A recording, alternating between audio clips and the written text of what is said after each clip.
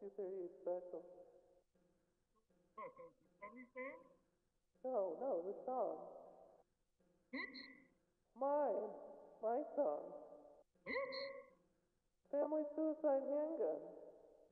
Oh, you just call it that, asshole.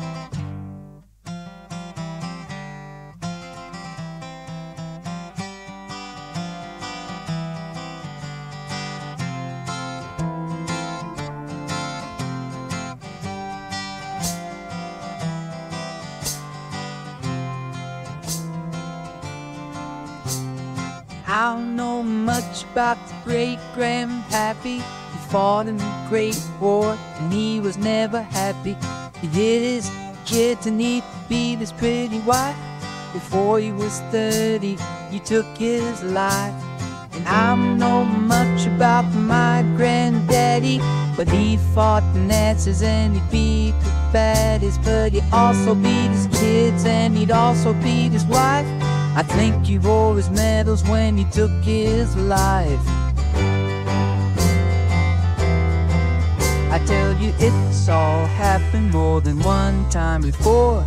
We're packing Smith and Wesson and we're going into war. Government says I must not have any fun with the 38 special family suicide handgun. I know to know about my old man.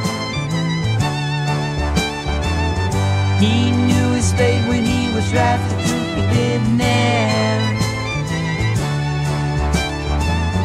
But when he came home, he still, well, he beat me, he still, he beat my mom. But she broke a cycle when she packed her bags and left me and dad alone.